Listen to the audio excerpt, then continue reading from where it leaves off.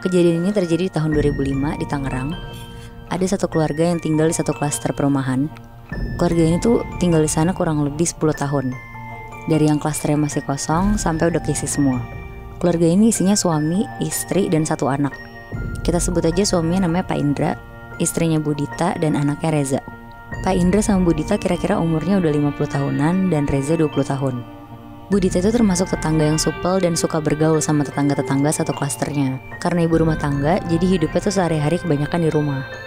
Dia tuh juga suka bikin acara-acara buat tetangganya, kayak 17 Agustusan, tahun baruan, sampai arisan ibu-ibu juga dia yang selalu ngajak. Hmm. Budita paling dekat sama tetangga sebelah rumahnya persis, namanya Bu Ulfa. Karena mereka sumuran dan anak mereka tuh juga nggak beda jauh umurnya. Jadi suka nanya-nanya soal sekolah anaknya juga. Bu Ulfa ini termasuk yang paling berada di satu klaster itu. Rumahnya dia sendiri itu dua kafling, sampai-sampai dia tuh juga punya tiga rumah di klaster itu. Dan kalau ada acara-acara klaster, dia selalu yang nyumbang paling banyak. Tapi Bu Ulfa ini tuh termasuk orang yang humble banget Moibi. Gak pernah milih-milih dalam bergaul, semuanya dia rangkul sampai jadi deket banget. Sampai akhirnya Budita tuh bingung. Kayak udah semingguan dia tuh gak ketemu sama Bu Ulfa. Dia ngeliatin rumahnya dari depan juga kayak gak ada peradaban. Terus Budita tuh ngomong ke suaminya, Pak Indra. Dia bilang, kenapa ya Bu Ulfa udah seminggu ini kok gak kelihatan? Rumahnya juga kelihatan kosong. Terus Pak Indra jawab, ya paling keluar negeri sama keluarganya. Biasanya kan tiap tahun begitu. Ngedenger itu Budita baru keinget juga kalau Bu Ulfa tuh setiap tahun emang pasti keluar negeri sama keluarganya. Tapi yang bikin dia masih mikir tuh kok tumben gak ngasih tahu karena biasanya tuh selalu ngomong dulu ke Budita. Tapi Budita akhirnya mikir, ya mungkin dia lupa aja kali ya buat ngasih tahu ke Budita. Ya biasanya ngabarin gitu ya. Sekedar benar, tahu doang. Nah akhirnya sekitar jam 9 malam Tiba-tiba ada yang ngetok-ngetok rumah Budita Pas dibukain sama Buditanya sendiri Ternyata itu tuh Bu Ulfa Hmm. Langsung heboh kan tuh Budita Terus langsung disuruh masuk juga. Tapi pas disuruh masuk Bu Ulfanya tuh diem aja. Mukanya Bu Ulfa di sini juga nggak kayak biasa. Pucet, rambutnya juga agak berantakan Karena Budita ngeliat Bu Ulfa pucet banget Kayak orang sakit Budita akhirnya bilang Bu tunggu aku bikinin teh panas ya. Ibu masuk sini aja duduk di ruang tamu. Akhirnya Budita cepet-cepet lah bikin teh panas. Dan pas dia balik ke pintunya Bulfa tuh udah gak ada. Terus malamnya akhirnya dia ceritalah ke Pak Indra. Dia bilang kalau tadi tuh Bulfa mampir Tapi mukanya tuh pucet banget. Dan tiba-tiba Bulfa tuh hilang pas lagi dibikinin teh sama Budita Tapi rumah Bulva pun juga masih kosong. Ya Budita gak sempet ngecek rumahnya sih Moy. Oh. Soalnya udah malam juga waktu itu. Iya iya. Akhirnya sekitar jam 11 malam Budita siap-siap tidur. Tapi pas baru mau tidur Budita tuh denger kayak ada suara kenceng banget. Suara perempuan teriak-teriak terus nangis. Pak Indra pun denger suara itu. Akhirnya karena penasaran dan suaranya makin kenceng Budita sama Pak Indra lari ke kamar anaknya. Tapi pas dibuka pintunya Reza tuh udah tidur Sumber suaranya tuh bukan dari rumah mereka Moibi Malah dari rumah sebelah rumahnya Bulfa Oh. Akhirnya jam 11 lebih mereka mutusin tuh buat keluar rumah dan nyoba ngebel rumah Bulfa. Soalnya suara yang mereka dengar udah bukan teriakan sama tangisan lagi, tapi suara minta tolong juga. Oh. Oh shit. Mereka ngebel lah ke rumah Bulfa. Sekali dibel nggak ada yang keluar, dua kali pun sama, sampai akhirnya ketiga kali. Yang keluar tuh pembantu sama supir rumahnya. Nanyalah Budita, Mbak, Mas, Bulfa kenapa ya? Kedengeran dari rumah saya ada suara minta tolong. Dan itu suara Bulfa.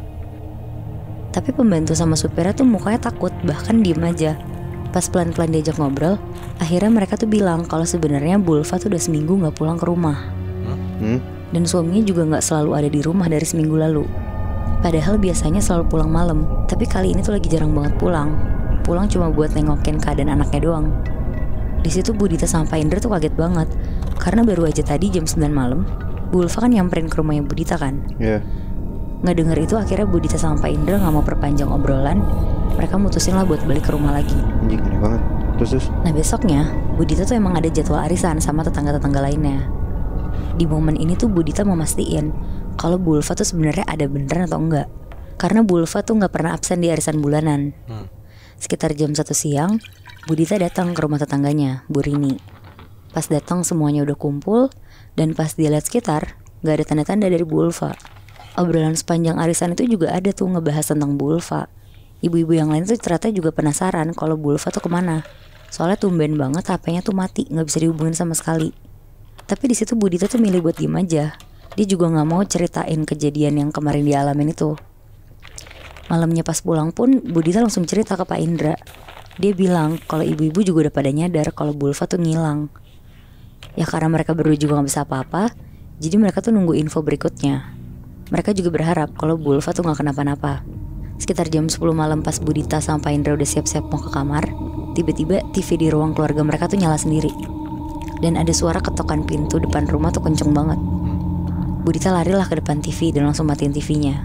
Sedangkan Pak Indra langsung jalan cepet ke pintu rumahnya. Karena Pak Indra tuh sebenarnya agak takut soalnya pagar depan tuh udah digembok. Jadi siapa yang bisa masuk sampai ke depan rumah mereka kan? Akhirnya Pak Indra ngecek dulu dari jendela sebelah pintu. Dan bener aja Moebi, nggak ada siapa-siapa. Tapi suara ketokannya tuh masih ada. Aduh. Akhirnya Pak Indra nyuruh Budita cepet-cepet naik ke atas masuk ke kamar mereka. Pak Indra bilang ke Budita kalau ini tuh kayaknya ada yang nggak beres. Terus Pak Indra juga bilang kalau ada suara ketokan pintu lagi jangan dibukain pokoknya. Pak Indra di situ juga nyamperin kamar Reza untuk ngasih tahu hal yang sama. Akhirnya sekitar jam 11 malam mereka tidur. Pas udah setengah tidur, tiba-tiba ada suara ketokan pintu. Tapi dari kamar Budita dan ketokannya tuh pelan kali ini. Sampai ke kamar. Sampai ke kamar Moy. Wow. Karena setengah sadar, Budita yang baru bangun tuh langsung jalan ke pintu buat ngecek. Awalnya dia mikir kalau itu tuh Reza. Tapi pas dibuka, ternyata itu tuh Bu Ulfa yang udah berdarah-darah, bajunya robek-robek, kepalanya tuh ketancap pisau sambil bilang, "Tolong." Aduh, anjing serem banget. Wah ngeliat itu Budita tuh langsung banting pintu, lari, terus langsung bangunin Pak Indra. Di malam itu juga Moibi, mereka berdua langsung nyamperin rumah Bu Ulfa. Mereka ngebel berkali-kali sampai ada yang bukain, sampai mereka di situ tuh juga manggil satpam dan RT yang juga tetangga mereka, buat mastiin kalau Bu Ulfa ini tuh nggak kenapa-napa. Nah rencananya mereka semua tuh mau masuk ke rumahnya Bu Ulfa. Tapi sebelum maksa masuk, akhirnya pembantu sama supirnya ini tuh bukan pintu. Mimik mereka tuh penuh ketakutan gitu loh. Dan tanpa ada perlawanan, mereka tuh langsung bolehin Budita, Pak Indra, RT sama Satpam buat masuk ke dalam rumah. Di dalam rumah Bu Ulfa pada saat itu tuh kosong. Anaknya Bu Ulfa di situ tuh juga lagi nginep di rumah temennya, karena orang tuanya juga nggak pulang-pulang. Jadi kenapa pembantu sama supirnya langsung izinin masuk tuh? Karena sebenarnya udah semingguan ini setiap malam mereka tuh dengar dari kamar Bu Ulfa ada suara teriakan, nangis dan juga minta tolong. Tapi karena mereka tahu Bu Ulfa nggak di rumah, mereka tuh nggak berani naik ke kamarnya yang ada di lantai tiga. Akhirnya mereka rame-rame naik ke kamar Bu Ulfa dan sesuai dugaan, kamarnya tuh dikunci. Karena ada satpam sama RT, jadi akhirnya mereka dobrak paksa lah pintunya. Dan pas didobrak, di dalam tuh banyak banget darah di lantai, di kasur. Terus baunya tuh juga bau anyir banget kamarnya. Akhirnya rumah Bu Ulfa di situ dijadiin TKP. Terus supir sama pembantunya juga buat sementara dipulangin dulu. Karena suaminya ini tuh nggak tahu di mana dan nggak ada yang bisa ngehubungin juga. Nah seminggu kemudian jasadnya Bu Ulfa tuh ketemu di semak-semak rumah kosong yang jaraknya 5 kilo dari klaster itu. Anjing. Wah, anjrit. Dan ternyata Moibi, katanya Bu Ulfa ini tuh dibunuh dengan sadis sama suaminya yang ternyata pakai pesugihan dan jadiin Bu Ulfa sebagai tumbal. Fuck. Anjrit. Berarti selama ini Bulfa hilang bukan karena keluar negeri tapi karena meninggal. Iya bener Moy. Wah anjing bi. Wow. Terus sampai sekarang suaminya gimana, Nat? Setahu gue sih sampai sekarang masih dicari nih Moy suaminya. Hmm. Karena katanya suaminya tuh pindah-pindah mulu. Wah anjing. Berarti si arwahnya Bulfa masih gentayangan dan ngeganggu tetangga-tetangganya bi. Ya iya sih Moy, buktinya aja si Budita itu dimintain tolong terus kan berhari-hari. Ah kayak sweat.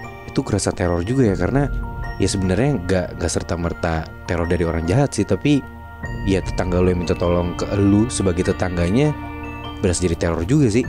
Iya karena aku juga masih nggak habis pikir gitu loh. Kadang kan emang orang lain yang ngelakuin sesuatu atau hal-hal mistis itu dilakuin sama orang lain kan. Hmm. Tapi kalau misalnya tetangga pun sampai kena juga, gue nggak tahu sih kalau misalnya di posisi kayak gitu, gue akan pindah rumah atau emang gue bakal cari tahu sebenarnya tetangga gue tuh lagi kenapa.